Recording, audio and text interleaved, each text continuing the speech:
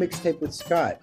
I'm your host, Scott Cunningham, professor of economics at Baylor University. Today, I had the pleasure to introduce you to a friend of mine, Marina Della Giusta. Marina is a professor of economics at the University of Turin in Italy. I've known Marina now for a few years. I first learned about her uh, because of an article she wrote um, on stigma and sex work. Uh, and I've always loved it, and it sort of shaped how I thought. And it was um, over time, I've become closer friends with her our conversation today was really interesting, surprised me uh, for some of the twists and turns it took. And I also learned a lot more about Marina's personality that I didn't quite know and uh, really enjoyed uh, all that, just her willingness to share so much of her story uh, with us. I hope you enjoy this interview, having a chance to, to listen to Marina's story. And of course, as always, I hope that maybe hear a little bit of yourself in her story.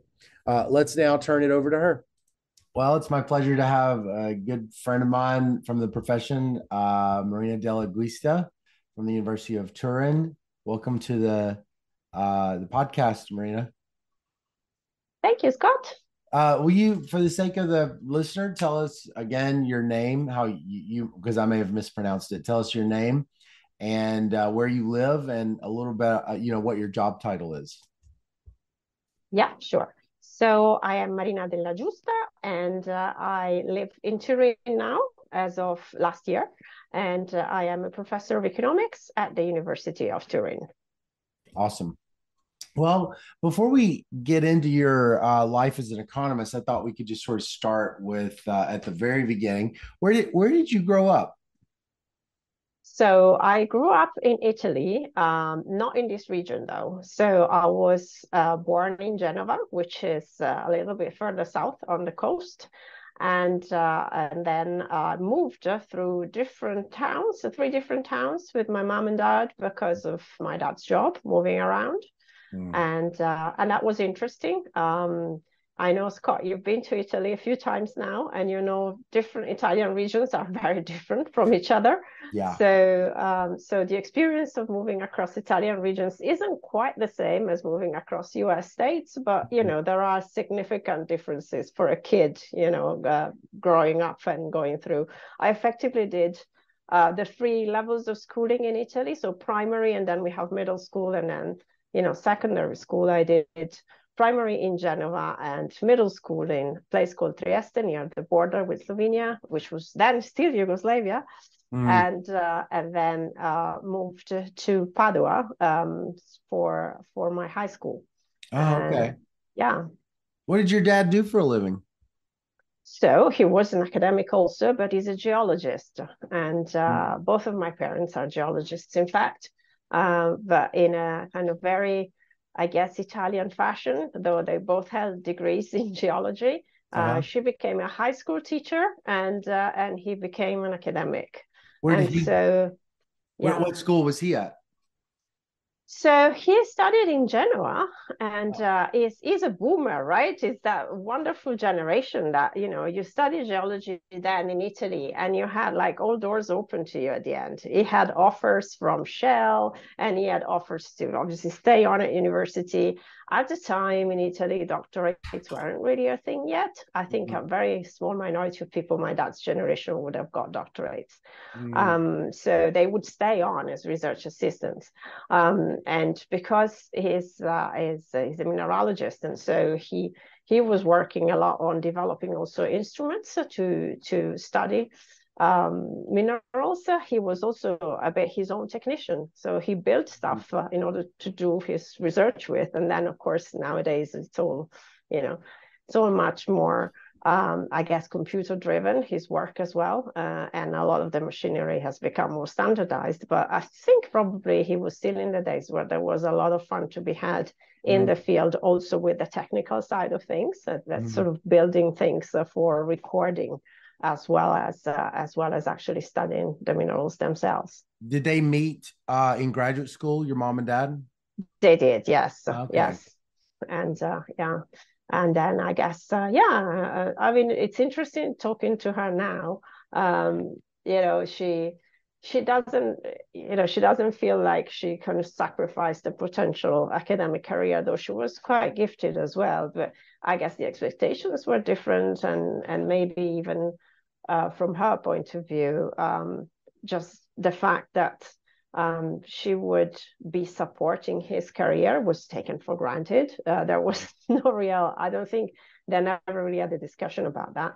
Um, and uh, and my dad, for his generation again, Italian man, um, you know, uh, born in the 40s, uh, seemed to me pretty amazing uh, at the time and still does to a lot of my friends. You know, he was the kind of man who would, you know, who would do the housework, who would do cooking, who would do cleaning.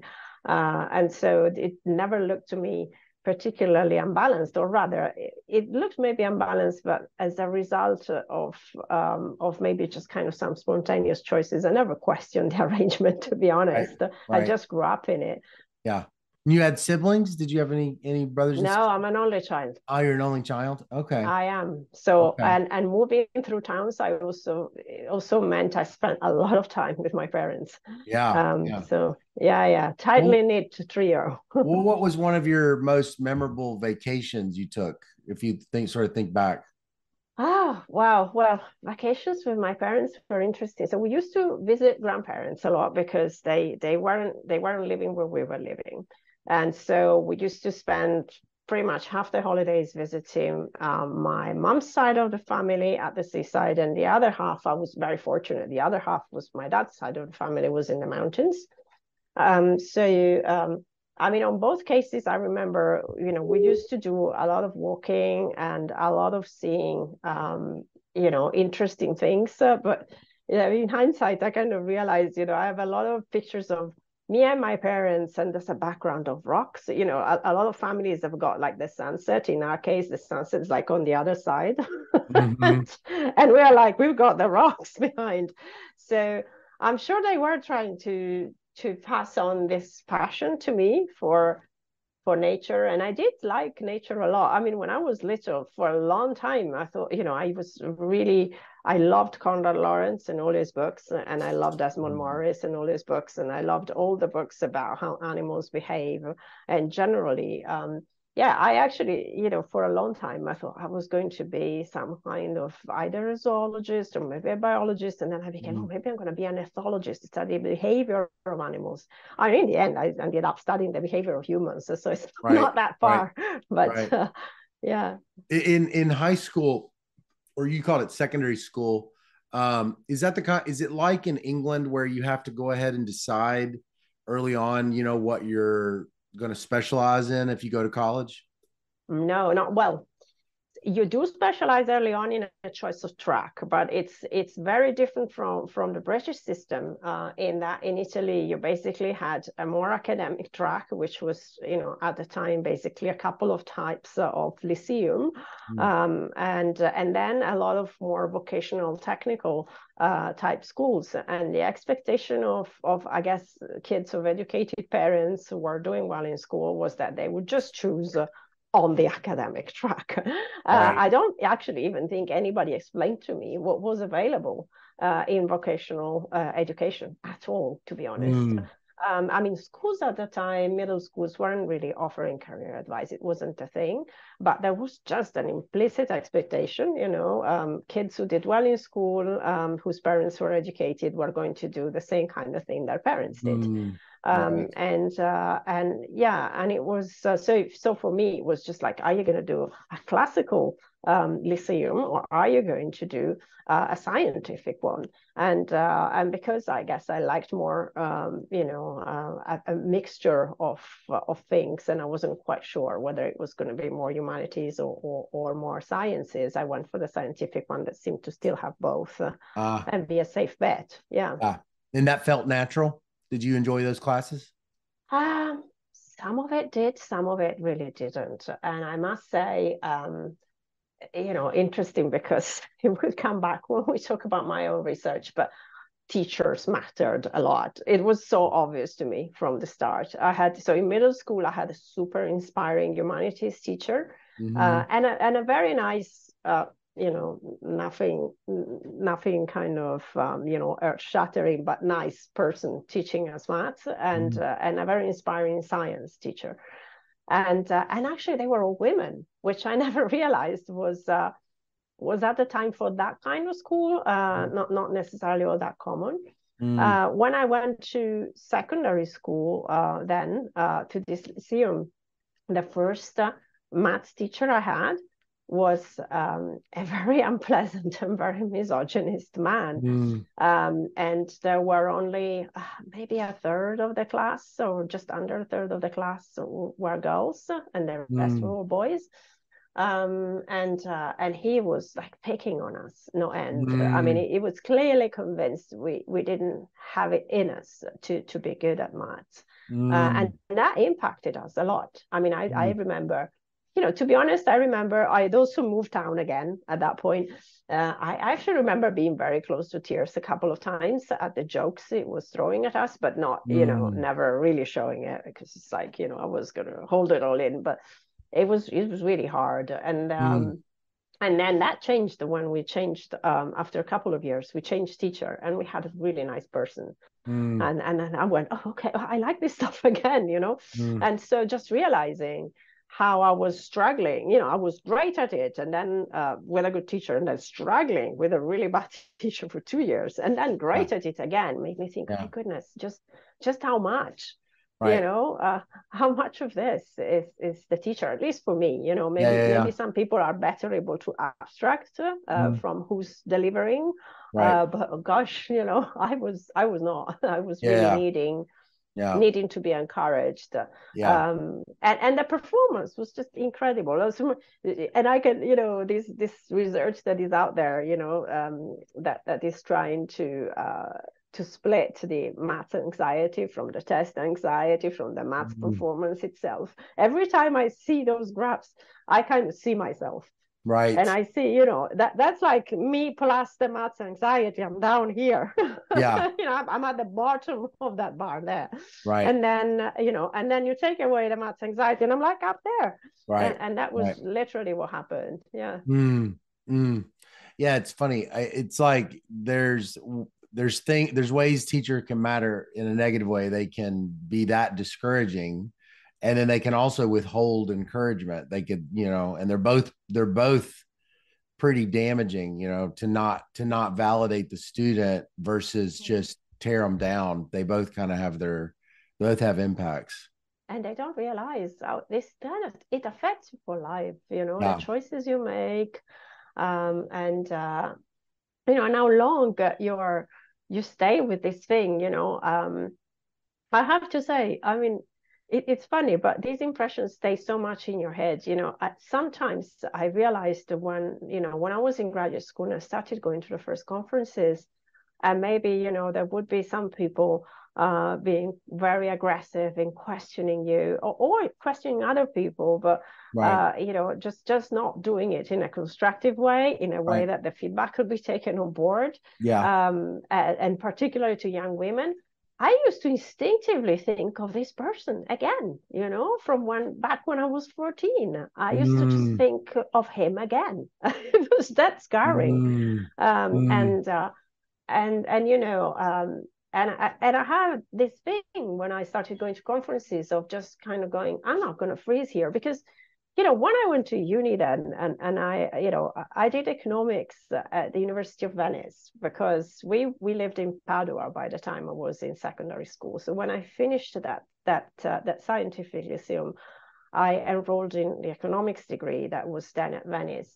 Um, so under the old system, I mean, Italy now has a system that is pretty much in line with the Anglo-Saxon system. So there's like a, you know, three years undergraduate degree and then two years of kind of some kind of master's. And then if, if you want to stay on, you can go to graduate school.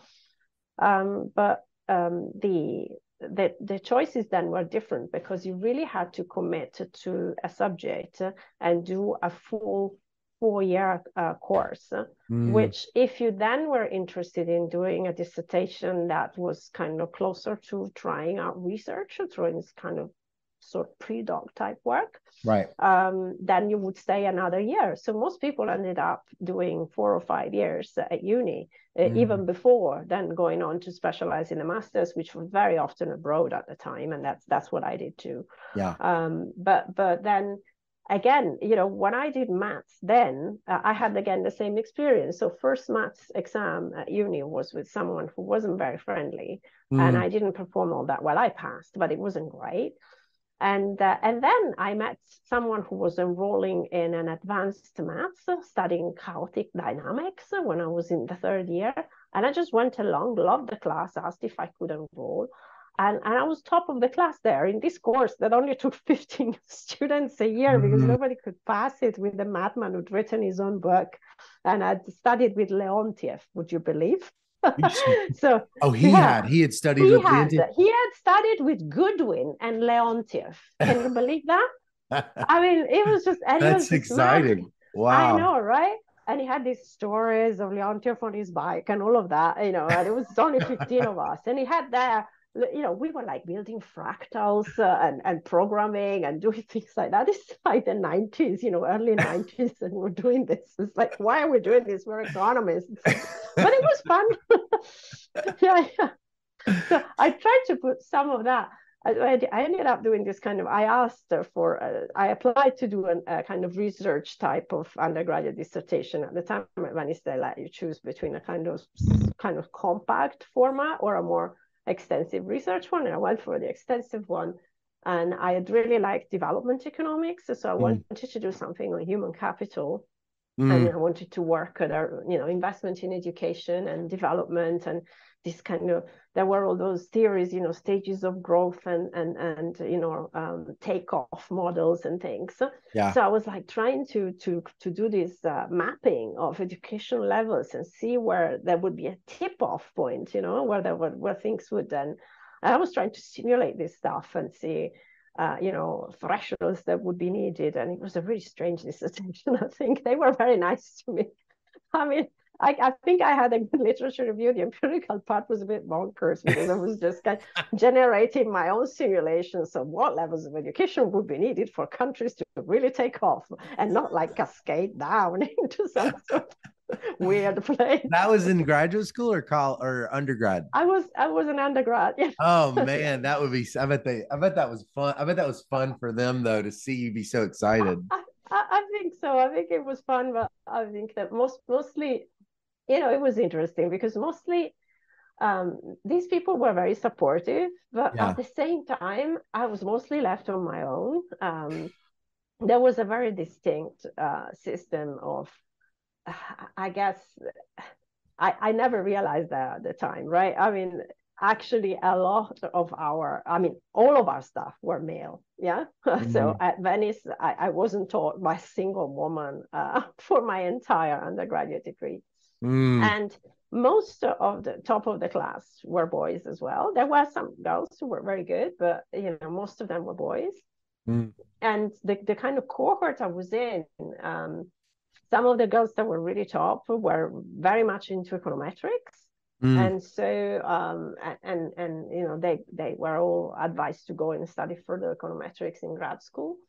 Um, and then the other people um, yeah there was this thing that that graduate school wasn't really for girls. We just weren't getting any advice. We were like oh you're very good. Yeah you have some interesting ideas.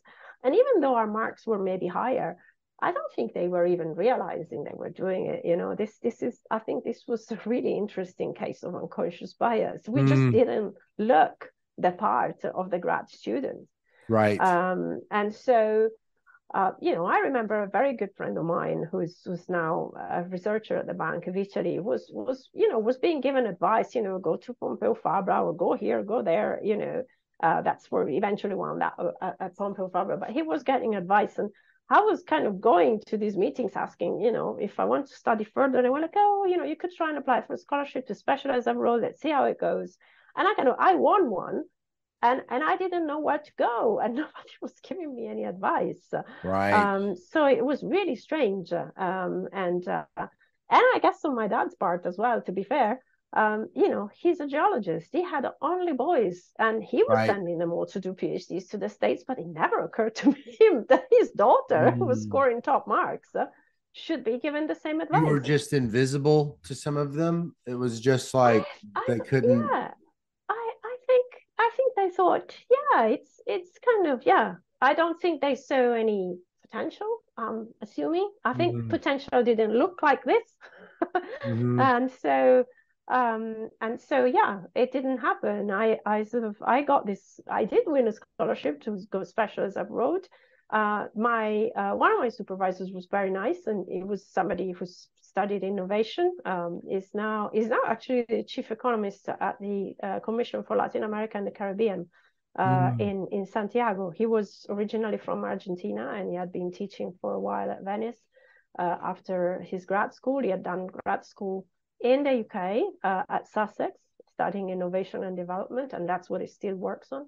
Yeah. Um, and uh, and so he said, you know, go to the UK. Um, and I wasn't sure I wanted to do what he did, which is where he was like, yeah, I can give you advice for this particular area, but if you're not quite sure, um, he ended up uh, um, recommending going to Reading. That's that's how I ended up in Reading mm. because he knew people there um, and also because Reading at the time had a really interesting master's program which taught both the whole development side of things, and it mm. was run together with uh, um, uh, with Oxford University. So Sanjaya Lall was teaching a development to us in that master's. The School of Agriculture at Reading has some some really good people actually, and they were also teaching us. Mm. And then there were people coming from Sussex, like you know Keith Pavitt, and and and and really prominent people in innovation, mm. uh, teaching us. And so I just went there to see a bit. Okay, what else is there? But again, never really getting any sense that um, that I had to approach this uh, professionally, if, if that yeah. makes sense.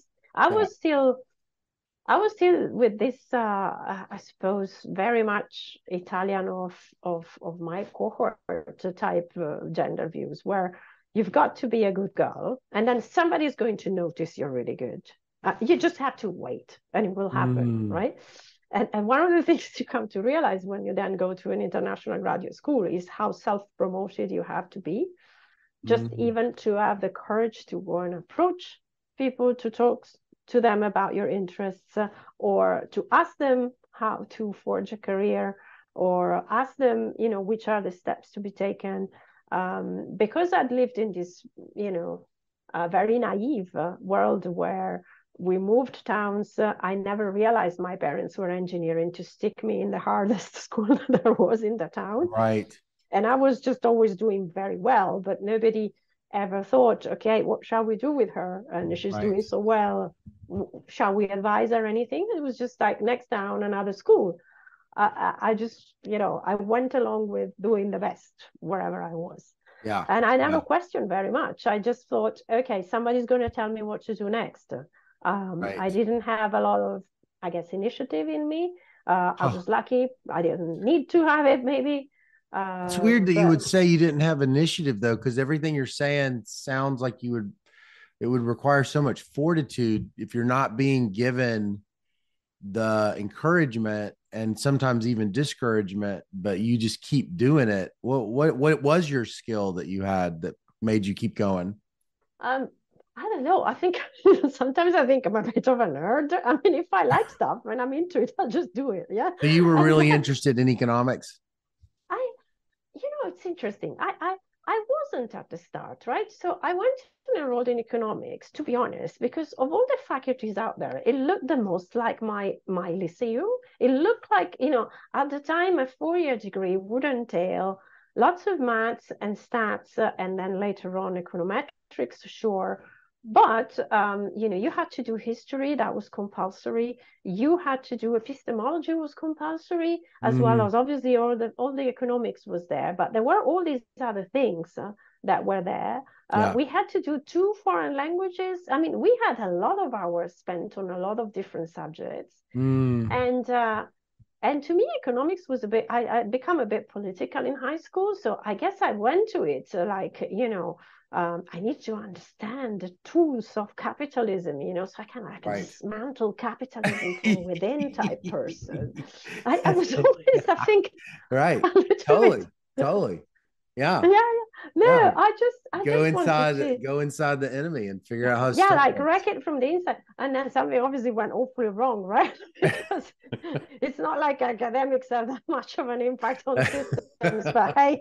uh, Right. but I wanted to understand how things worked. You know, it was always the thing is, I guess my my story is, is always been a bit the outsider, the outsider kid in the school because I was always coming from another town and I wasn't speaking Ah. the local dialect. And dialect in schools was still a thing, you know, Yeah. uh, when I was little.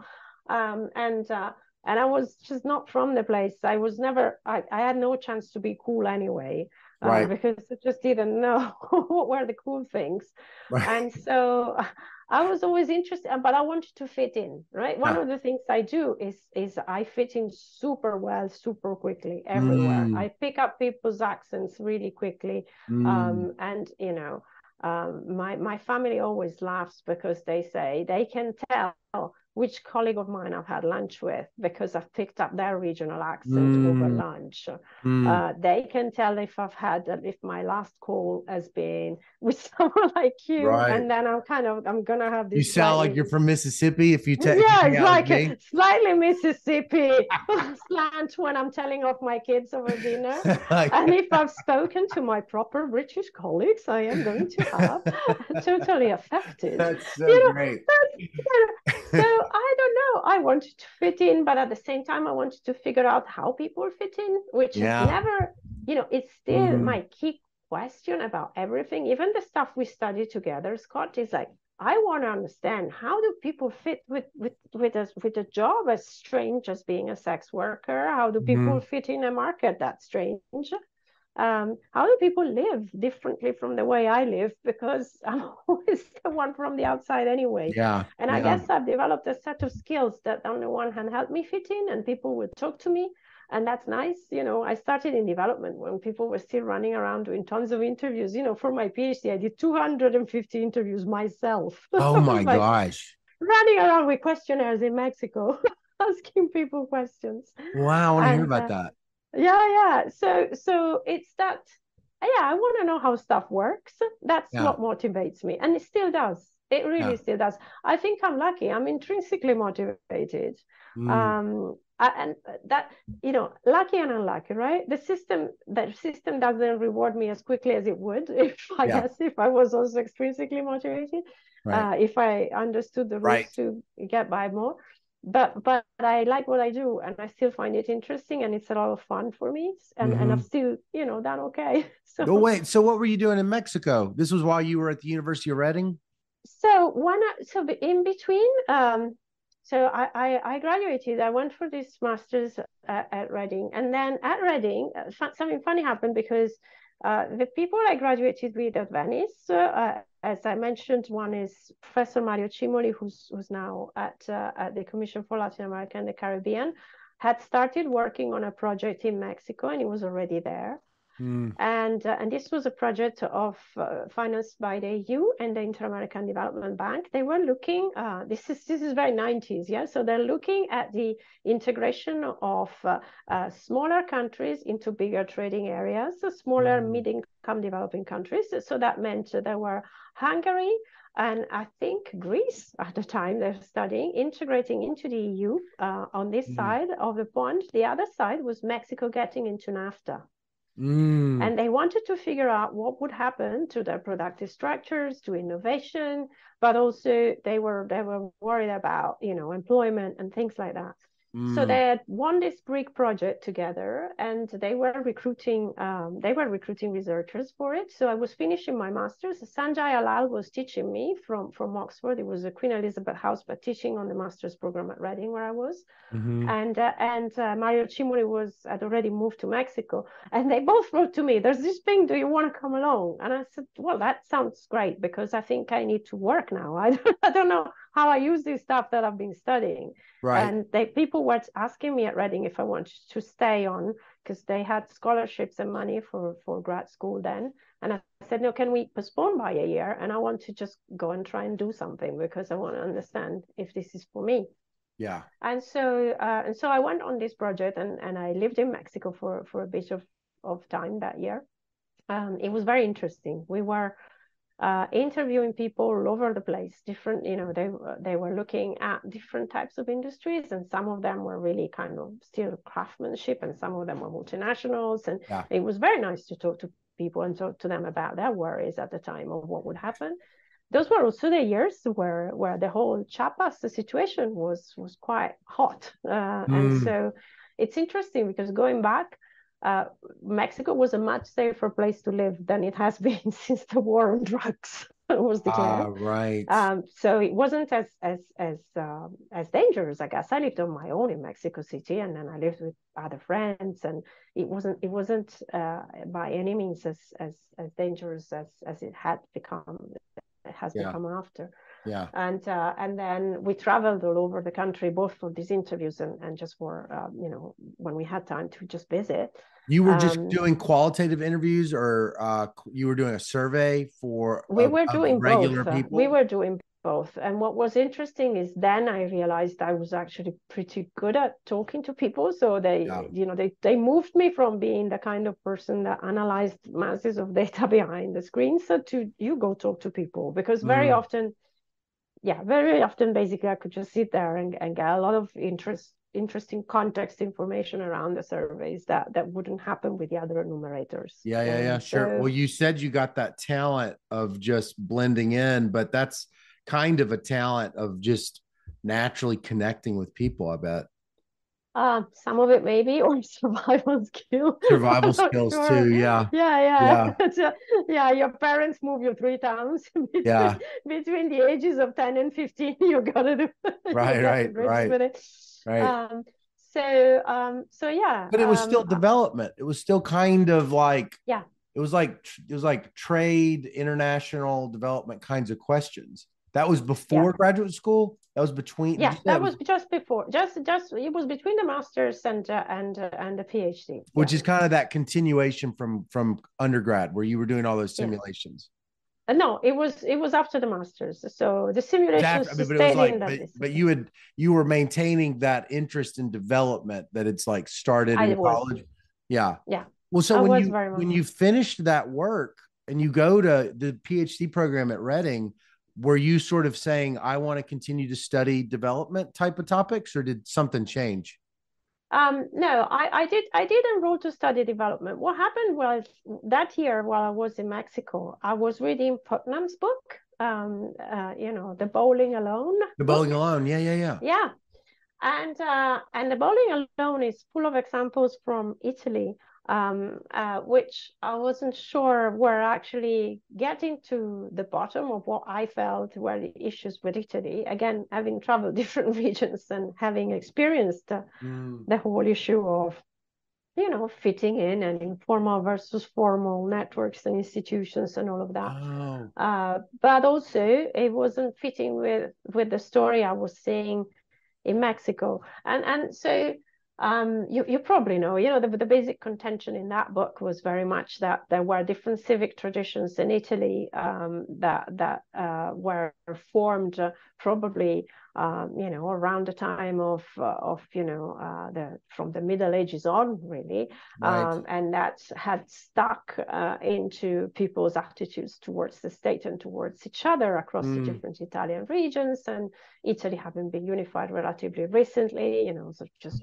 you know, from kind of 80, 80, 60, then it meant that a lot of the regional differences that were observable also in civic attitudes, uh, in civic cohesion, in trust uh, in government, uh, and trust between citizens, and and you know the prevalence of formal or informal arrangements, and then of course legal or illegal arrangements mm-hmm. uh, was was was a product of that uh, differentiated regional history that was formed, you know, two three hundred years before. Basically, that was his main argument, and and this idea that you know that um, that there was this amoral familism that wasn't that was Banfield's definition from the 1950s. It wasn't Putnam's. Putnam just just obviously you know um, worked elaborated around it. And I remember at the time I went and tried to read reviews of the book as well. And I remember the Italian uh, economic historians and historians were furious because they over Putnam's book. It, Oh, they were. I mean, they they felt there was a lot of you know uh, willful misreading of other historical oh. events that weren't fitting with the main narrative, and right. Uh, Right. I mean, I guess you know, I, I, I wouldn't ever get into a fight between historians. it looks even bloodier than amongst us economists, doesn't it? yeah, right. you right. don't want to go there, right? Uh, but uh, but I remember, you know, it seemed I thought, well, that's interesting. I like a controversy around the story, but also but also what was interesting was having just been in Mexico and having and being an Italian was then kind of moving to live in the UK and my way of going around things being very different from the typical average British student I was hanging out with. I was thinking, okay, you know, there must be something here in the way people forge trust and and mm. uh, and the way people use this social capital and these connections in able to do things that we are missing out from the development story, from the story of what forms of capital people need. Because mm. at the time in the 90s, the story was still very much about, well, you need your human capital, and of course, you need your health, uh, you know, but basically, it was all a story about human capital and all those complements to human yeah. capital. Yeah. Right. Uh, health being considered pretty much a complement to human capital. Right, right, that right. was it. Right. Um, so and, and, you know you had these basic needs frameworks right post 13 and and you know how are we going to measure um, you know the human development index what, what should we stick in you know it was about yeah. calories nutrition it was about education it was about access to sanitation or, or services you know right. that was very much a uh, it was almost like you know you need to educate people you need to make sure they're healthy give them gear and then it's going to happen and and what was fascinating was this story of what do their connections do for them that mm. I really liked because again it felt very close to home right I was somebody who always had to move from one place to another rebuild the connections didn't have right. the connections and knew what it felt like not having the connections you know with all my human capital and my gear couldn't do much you know couldn't get around without the connections could I mm. so and that seemed to be the story as well from all those interviews I was doing in the project in Mexico. You know, people were worried about the integration uh, into these big free trade areas ah, because they yeah. saw the opportunities, but they were like,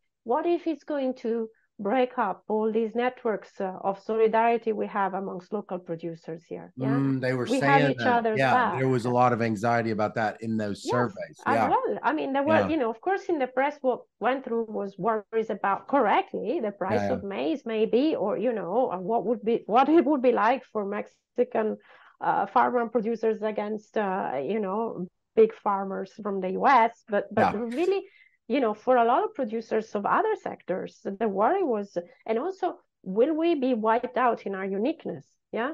Um, in in what we do, will we just be standardized into the, the, the things that are required in order to sell to a big market? Yeah. And uh, and I thought, okay, so so people here, people clearly also like the connection element uh, of also of their business the fact yeah. that they are together in a network of other producers and yeah. and they were worried about effectively the disruption of their social connections mm-hmm. business but social connections as well mm-hmm. um, so uh, so that was the question really and so when when reading offered me the scholarship and and said you know okay will you come this year i went yeah i'll come and the other time what you did was um, was you had to prepare a research proposal and, and say what you wanted to work on. And, and so I went, okay, I, I want to work on social capital and development. I want to understand it better. Yeah. And uh, and, sort of this issue of the formal and informal institutions, but also the trust. And uh, and I in a primarily I, development context, or was it just more general? So initially it was just general, yeah. Uh, so I started out again a bit like my undergraduate dissertation, just in my own little world. I'll build a model of everything, you know. Uh, like, and then let's narrow it down to like one question. you know, yeah, that's why I guess you know. I guess that's why I always have a lot of time for my graduate students at the beginning yeah. of the journey. Right. Um, you know, I, I like the ones that come with these huge things. Yeah. like, okay, let's let's try it and make this something you can earn a living from. because you know the field has gotten harder to get into, let's face it. So you need, you need to make sure you put bread on the table with these mates. Oh, God. At some point.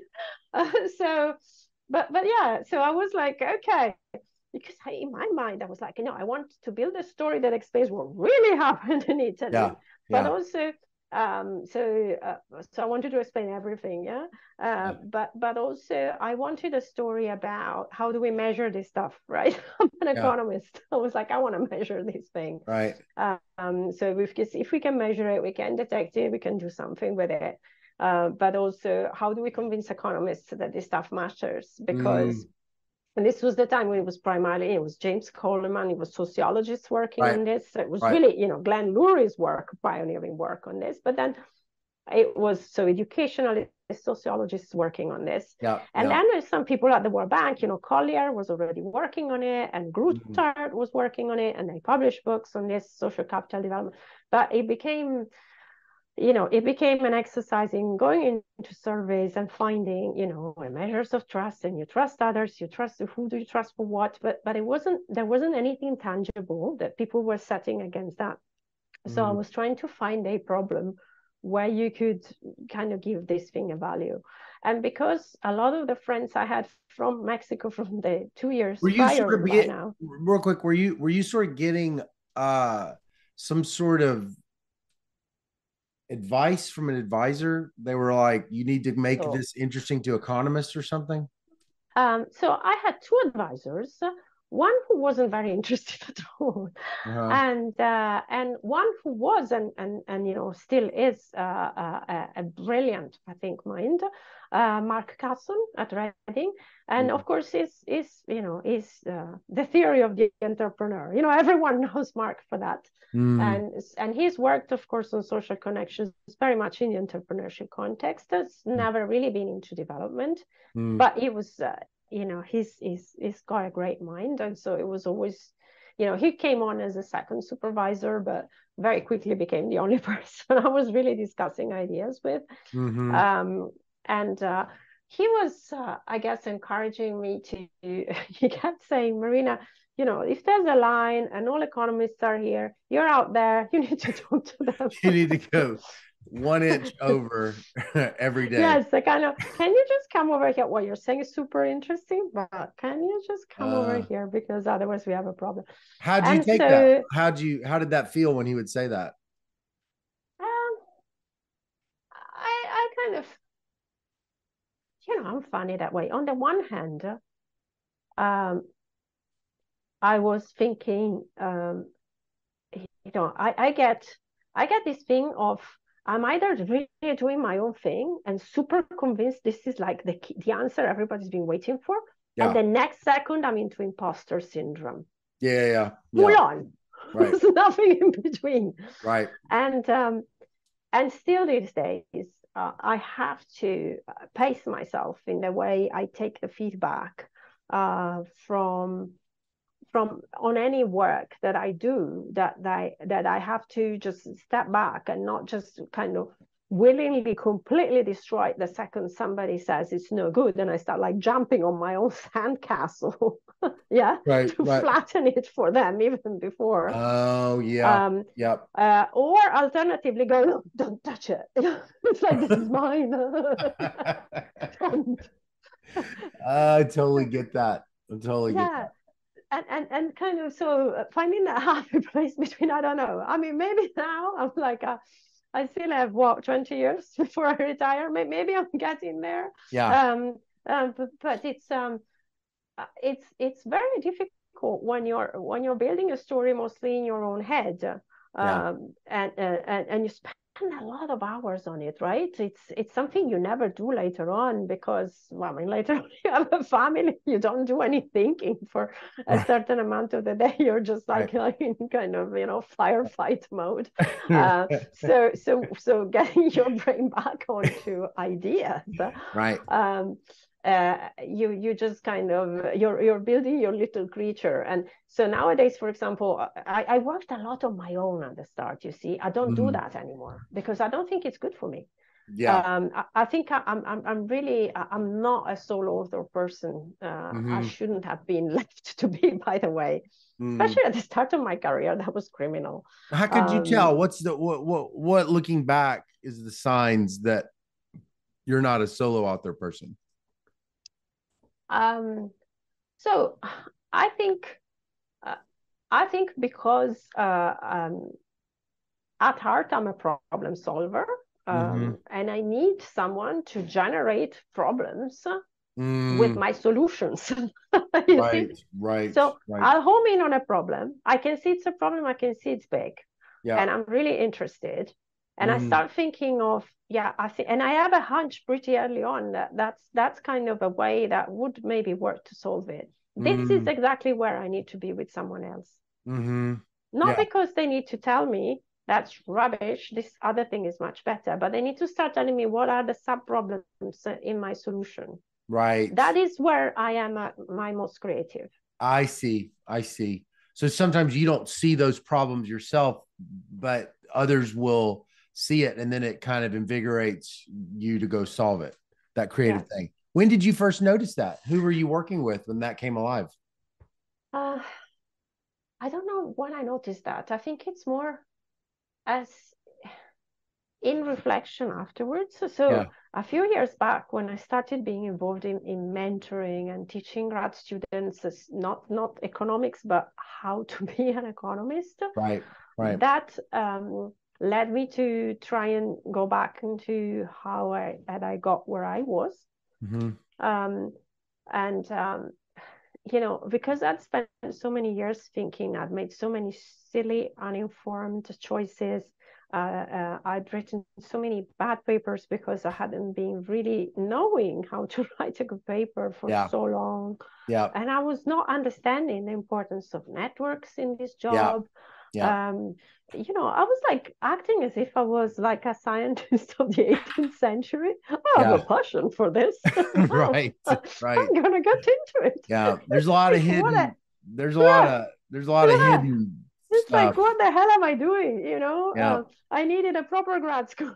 I needed right. to understand which conferences you should go to, which not to go to. Yeah, and the also, hidden you know, syllabus. There's a there's a oh, hidden goodness. syllabus. Yeah. Yes, yes. So no, and and you know, this is this you know, when we were conversing about your amazing causal inference work, the fact that you got in there and said, you know, I want to give these tools to people who are not in the top 20s. Yeah. Because people in the top 20s get this. They get it. and and right. everyone else doesn't. Right. and, right. you know, we want to open those doors and we want to yeah. do it for the good of the discipline. Uh, mm-hmm. and, and, and, you know, uh, and just so that creativity can really, yeah. yeah. So, so I, I, I then became conscious of of you know I was always super self-critical you know after this long list of oh I went wrong there because I did this I went mm-hmm. right because of that and I had to suddenly because it was supposed to be empowering and it was supposed to help grad students and it was supposed to be part of the mentoring yeah. I was like okay here are the things I would do differently now mm-hmm. um, rather than oh this was all wrong or right. you know um, and and and that led me to do a lot of rethinking over a, you know about yeah eight to ten years ago over a, over a couple of years and then i think two three years ago i finally had um, a better understanding of how i got to where i got mm-hmm. um, and and rather than thinking along the lines of you know like good italian girl brought up with catholic guilt right? So i was like you know instead of going what is my fault? What is not my fault? Yeah. It's like you know uh-huh. how long can you just go hitting yourself? Yeah. um i was just like okay what what went wrong there? Um yeah. and uh and uh and okay so so what would have helped you know um, was i needing a support network there was i needing uh, better feedback uh, you know i realized mm. for example this thing that uh, there's a lot of good literature about nowadays uh, on the fact that women one of the disadvantages women are at in in very male dominated professions which ours still is but mm. used to be much more so when we started mm-hmm. um, is the fact that we don't get a lot of feedback actually not at all you know it's not so you know we get negative feedback fine but actually if you're a bit of a nerd and a weirdo like me you you maybe cry in a corner for a day but then you're still there yeah, yeah, yeah. so yeah. it doesn't but the point is you learn nothing from it right right because right. it's just you're self-chastised for a day and then you go away but they did they didn't give you anything to go on with so one of the things for example i try and teach in in my classes to grad students is okay take all the feedback that comes uh, and then uh, and make a note of it. Even if it's delivered in the most awful manner ignore it because you know what? This is a problem the deliverer has. Mm. it's not your problem. You know people who deliver feedback badly whether unconstructively aggressively incomprehensibly mm. anxiously self-validatingly that's their thing that's coming that's across with thing. the feedback. Yeah, yeah, yeah. And so a lot of the work has to be you take it all and then you know it's a bit like a oaxaca decomposition really right she just yeah stick the weights on the stuff and try and, and clean like, it yeah, progressively right. till yeah. you isolate the pure information you want yeah. to have on that piece of work that you presented because some of the information you're going to get is about how they feel about you and frankly that's irrelevant. and that's irrelevant. yes yes because you want to know what can you do with this paper to make right. it better. Right right right and, right. and, yeah and you know i mean i i say the same thing to my, to people too. It's like um the goal is extract as much information uh from a critic um, and ignore the noise, which sounds easy because you know we all have our own you know struggles, and when people are saying negative, critical things about us, we we we don't necessarily always. It's not easy for some people to to extract the signal. They might extract Absolutely. the noise. You know, they might say, "I'm a bad person. I'm not. I'm not good as. I'm not in a real economist." But, as but opposed this, this to a lot of the research I do on unconscious bias, Scott, is ah. exactly saying that. Mm, so one of the problems of being stereotyped negatively by people mm. is that it hijacks cognitive resources from the brain. Mm. And instead of pushing them in the task at hand, which in this case is receiving feedback, it puts them into defending yourself. Right. It, it kind of blocks out the aggression, but by yeah. that, it blocks out also the signal. Yeah. Yeah. Yeah. Um, and so, you know, that that's the real issue with stereotyping people. It mm-hmm. reduces, mm-hmm. we know, it reduces self-confidence, effort, yeah. productivity. And why? Because the brain has precious little cognitive resources. Yeah. And if half of them are going to be spent worrying about, you know, the way I'm being threatened, yeah. then you know then the brain can't do anything else. This but it seems back like to the, the maths anxiety right? It seems like the policy recommendation is oftentimes to change a person make them stop stereotyping but really we're all price takers when it comes to other people and so the work that is needed is to go these are just words. This isn't real. This is you know i have dignity. I I have value right now. Some of what they're saying, ha, you know, at least ten percent of what they're saying is probably useful. And you know, you can decide whether or not you want to learn that ten percent from this person. Obviously, you know, maybe it's just like not worth it. But you know, um, the goal is why would you ever want to throw away information? That's what I always sort of think is like, you know, if there's signal in the message and it's very noisy, right? It, it, may be that at that time in your life, you just can't extract the signal because it is just too traumatizing, it is too negative. But the but the ambition is that you could become able to just ride that and not be able to be so triggered, you know, because that's a really valuable yeah. skill. Yeah. In general, think- is to handle your own inner distress.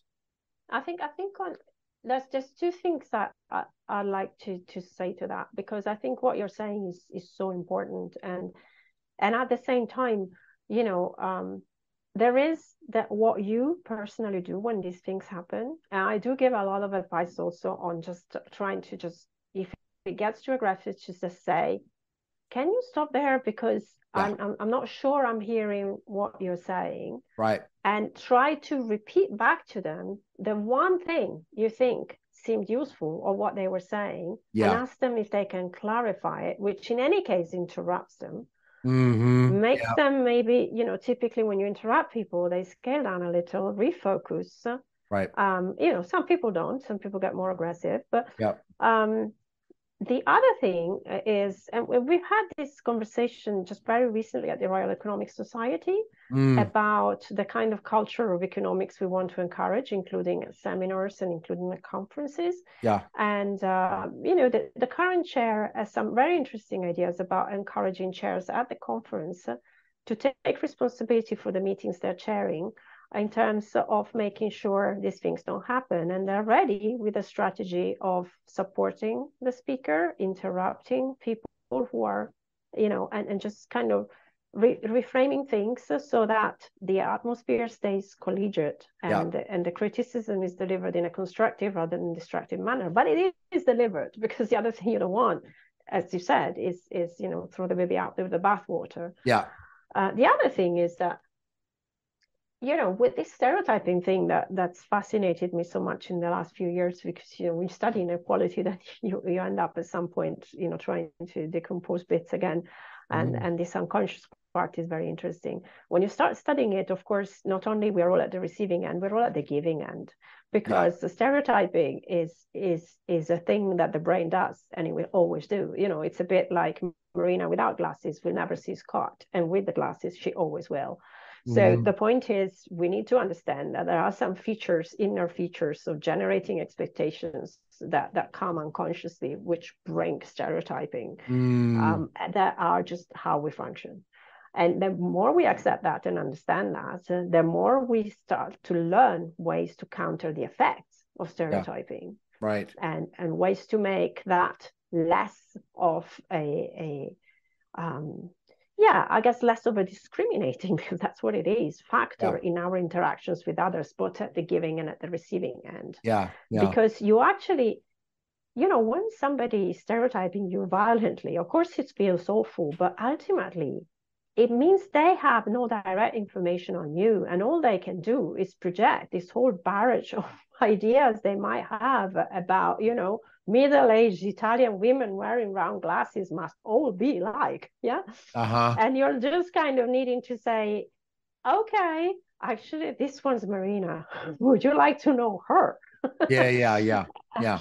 and, and and that's that's where um, that's where having techniques is important. And mm. tons of really useful techniques from, from psychology you know uh, uh, that that can be deployed. And i've been you know i've been trying to give graduate students advice in that respect. Yeah. Um, and uh, and i think hopefully we're coming to cohorts that are more and more expecting uh, more mutual respect. Yeah. the environment has got um, so hard and actually so much harder that I think people are beginning to also look out for each other a mm-hmm. bit more. Um, and also, I I just think um, I think there's going to be a generation of graduate students coming to us in the coming years who've been so badly affected by COVID anyway that we are not going to be able to just uh, pretend that our profession uh, no, can't allow itself to be soft. Um, and uh, you know that unless you're delivering criticism in a particular manner, you're not delivering criticism. Mm-hmm. Um, I, I, think there's going to have to be some collective rethink uh, in in those cohorts. You know, I, I think really from my age up, um, I've seen it less and less uh, in, in the younger people. I mean, some of them still do it, but I've seen it less and less. Uh, but but you know that that really unless criticism is delivered constructively then it means you are not able to communicate effectively right right you know? right Right. I think yeah. I think the need to be good communicators uh, is become more of an issue for economists, uh, and, mm. and, more economists are aware mm. that that this is an issue. I don't think it was a valued skill at all when we were in graduate school. Yeah, I mean, I mean, some of the instructors I got they were great, but you know, you right. couldn't understand the word they were saying, literally. Mm-hmm. Yeah. Um, and so, so it was clear that they hadn't been told. You know, you have to go in there to talk to these kids, uh, and you need to make sure they understand you. They understand you. Yeah, yeah, yeah. now we do, the goal, right? Yeah, I guess like this is where people have to decide what their goals are. You know, what is your goal? Is your goal to tear a person down? Is it to grandstand? You know, or is is it to is it to what would you say the goal is? You know, of delivering. The goal is to bring anyone who's got a passion and some talent for economics to do it. Yeah. Right. Yeah. And take away the word economic and take any any word in. That's mm-hmm. what we should be doing, right? Yeah. Yeah. If, if if we are in in any shape or form involved in educating the next generations in our fields, whatever those fields are, we should be looking out for interest and talent and nurture it. And if we yeah. can't do it, then we shouldn't be educators. Then right. it's not our job. Yeah. It's fine. You know, not everyone likes to do this. Yeah. Um, and it's okay. But but I think, and I think there is more. There are more institutions now that will not accept that kind of scholar that you know shuns students. Mm-hmm. Um, they they they. I think there's there's much less acceptance of that. Yeah. Um, yeah, yeah because yeah. I see it denounced publicly as a behavior we don't want. And 10 years ago, Scott, who did that? Yeah, sure. You know, it, sure. it, it, it, actually, if you said this something like that happened to you, you would expose a weakness. Mm-hmm. Amin and I never said it when it happened to me. Mm-hmm. Ever, ever. I was always, always hiding it. Even when I was reduced to tears at conferences, mm-hmm. I always, always hid it. I never Mm. said it. Mm. Absolutely not.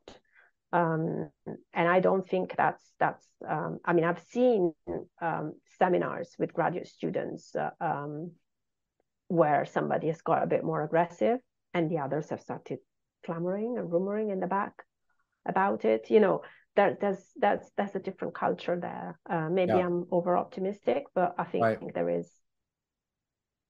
Yeah, yeah. Well, I I I am encouraged by your optimism. That's uh I I I am gonna I'm gonna try to be hopeful myself. I've witnessed uh some pretty pretty antagonistic speech uh in the profession myself and it's it's uh challenging um for sure. Well, Marina, it is so not. We didn't even get to talk about. Um, maybe we'll maybe we can do it again on another podcast and talk about your work on gender and sex work. Um, but what everything we spoke about was just so wonderful. It's it's so nice to, to always talk to you, and um, and I, I really appreciate hearing your your story like this. Likewise, Scott. It was really good to talk. And yeah, I mean, whenever you want, we actually get to talk about research next. Yeah, time. that's right. That's right. Okay. All right. I'll talk to you later. Yeah, talk later. Bye.